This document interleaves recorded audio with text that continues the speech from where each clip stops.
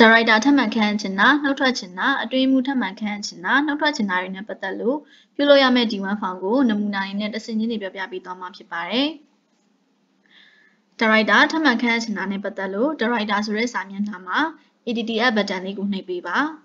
။ပြီးရင်တော့ဒါရိုက်တာဒါမှမဟုတ် alternative director ဆိုပြီးတော့ရွေးချယ်ပေးပါ။ Date of appointment နဲ့ထည့်ပေးပါ။ပြီးရင်တော့ ထပ်မံခန့်အပ်တဲ့ဒါရိုက်တာရဲ့အချက်အလက်တွေအလုံးကိုဖြည့်ပေးရမှာဖြစ်ပါတယ်။ star ပြထားတဲ့အရာတွေမှန်သမျှမဖြစ်မနေဖြည့်ပေးပါ။အချက်အလက်များအလုံးဖြည့်သွင်းပြီးပါက OK ဆိုတဲ့ button လေးပေါ်လာပါလိမ့်မယ်။ OK ကိုနှိပ်ပေးပါ။ဒါရိုက်တာနှုတ်ထွက်ချင်တာနဲ့ပတ်သက်လို့နှုတ်ထွက်ချင်တဲ့ဒါရိုက်တာနာမည်ဘေးကခဲရန်လေးကိုနှိပ်ပေးပါ။ပြီးရင်တော့ if this person season to be မှာတော့ yes ကိုရွေးပေးပါ။ date person seeks to be မှာတော့ date ထည့်ပေးပါ။ ပြီးရင်တော့ okay ဆိုတဲ့ button လေးကိုနှိပ်ပေးပါ upload pdf မှာဆိုလို့ရှိရင်တော့နောက်ဆုံးကြံခဲ့မဲ့ director အတွင်းမှုတို့ရဲ့မှတ်ပုံတင်နိုင်ငံခြားသားဆိုလဲ passport ကို pdf file တစ်ဖိုင်နဲ့တွဲတင်ပေးရမှာဖြစ်ပါတယ်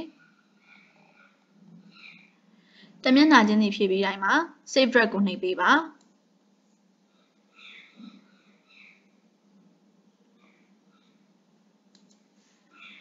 secretary မှာဆိုလို့ရှိရင်တော့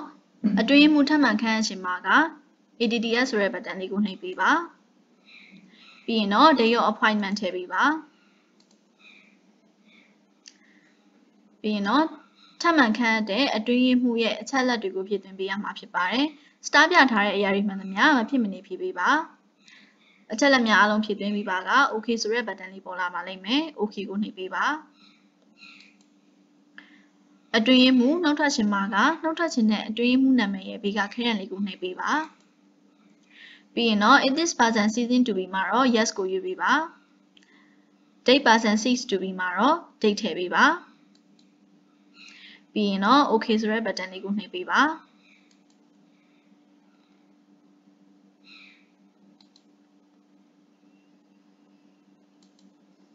signature မှာတော့ director ဒါမှမဟုတ် secretary ကိုရွေးချယ်ပေးပါပြီးရင်၎င်းတို့ရဲ့နာမည်ကိုဖြည့်သွင်းပေးရမှာဖြစ်ပါတယ်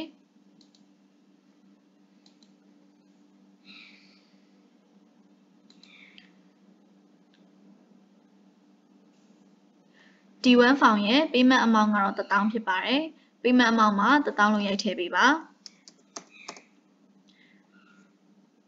ပြီးရင်တော့ pay by credit card pay by MBU ဆိုပြီးတော့နှစ်မျိုးရွေးချယ်လို့ရပါတယ် credit card မှာဆိုလို့ရှိရင်တော့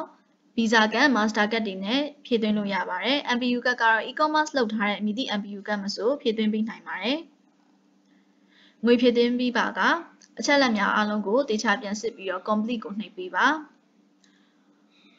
complete နှိပ်ပြီးပြီဆိုလို့ရှိရင်တော့ Dica logo နဲ့ transaction report ကျလာပြီဆိုလို့ရှိရင်တော့ D1 found တင်ခြင်း process ပြီးဆုံးပြီဖြစ်ပါတယ်။